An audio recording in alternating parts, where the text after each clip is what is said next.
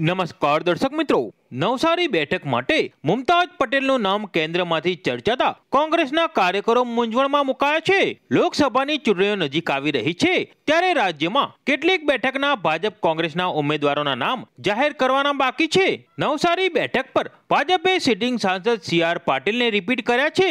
તો કોંગ્રેસ દ્વારા હજી સુધી નામને લઈને મથામણ ચાલુ છે. એવામાં કોંગ્રેસ અગ્રણી સ્વર્ગીય અહેમદ પટેલના પુત્રી મુમતાજ પટેલ તેમના નામની પણ ચર્ચાઓ શરૂ થઈ છે. સ્વર્ગીય અહેમદ પટેલના પુત્રી મુમતાજ પટેલે ભરૂચ બેઠક પરથી ટિકિટની માંગણી કરી હતી. પરંતુ ઇન્ડિયા ગઠબંધન દ્વારા નક્કી થયા મુજબ આમ આદમી પાર્ટીના ચૈતર વસાવાને ટિકિટ આપવી પડી હતી. જેથી લોકસભાની ચૂંટણીમાં નસીબ અજમાવવા માંગતા મુમતાજ પટેલને પાર્ટી નવસારી બેઠક પરથી ટિકિટ આપી શકે છે.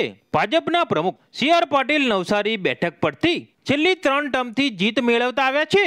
તેમની સામે ટક્કર આપવા માટે કોઈ સક્ષમ ઉમેદવાર ઉતારવો પડે એ માટે અત્યાર સુધી સુરત અને નવસારી જિલ્લા કોંગ્રેસના અગ્રણીઓ વિચારમાં હતા. ત્યારે એકાએક મુમતાજ પટેલનું નામ આવતા કોંગ્રેસી કાર્યકરો ચોંકવા સાથે નિરાશ થયા હશે. ધન્યવાદ.